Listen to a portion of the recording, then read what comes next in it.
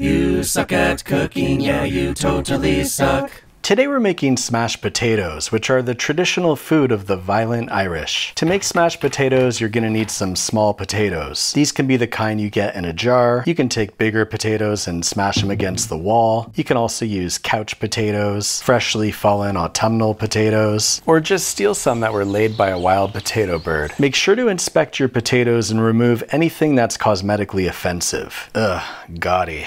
Now we'll wash those potatoes off, keeping in mind that some potatoes can be obscenely dirty.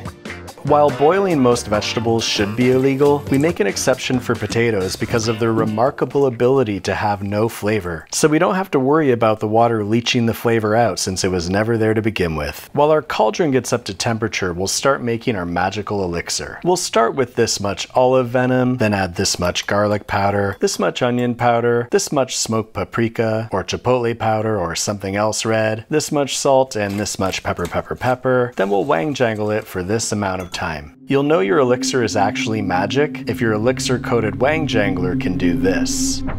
You see, it kept an evil spirit from appearing out of nowhere and haunting those potatoes. Once the potatoes are fork tender, they're good to go. That should take around 10 or 12 or 15 minutes. I'm not exactly sure, but your fork knows. Now we're gonna strain the water out, and then we're gonna put those potatoes under considerable strain. But first we'll throw the patatskis on the pan and then slather the pan with some olive grease for some reason. And now it's time to smash the potatoes with the bottom of a glass or with a wang jangler. You can use an espresso thing or a power stone, fancy vase, potted plant, something cosmetically offensive, a jar of candied walnuts, a foam roller, a bigger potato, a far sexier potato. You can use the power of your mind or a very sturdy stick, or an electric kettle, which was a really bad idea if you're afraid of cleaning potato out of circuitry, which I am not. You can see in here that these potatoes weren't cooked enough when I smashed, which made them crumbly, so I snuck in this tray of professional stump potatoes to take their place. And now we're gonna drizzle, sprinkle, paint, and slap that elixir into the nooks and gaps, crannies, crevices, chasms, clefts, rifts, splits, crotches, and cracks. Then into the undo they gundo at 4 hundo until they brundo. If 450 Fahrenheit is too hot for you, you, can turn it all the way down to 232 degrees Celsius. And you're gonna wanna bake those until they get nice and golden brown and crispy. It's been around 40 minutes and they're looking pretty good. Now we'll just test and see how crispy they actually are.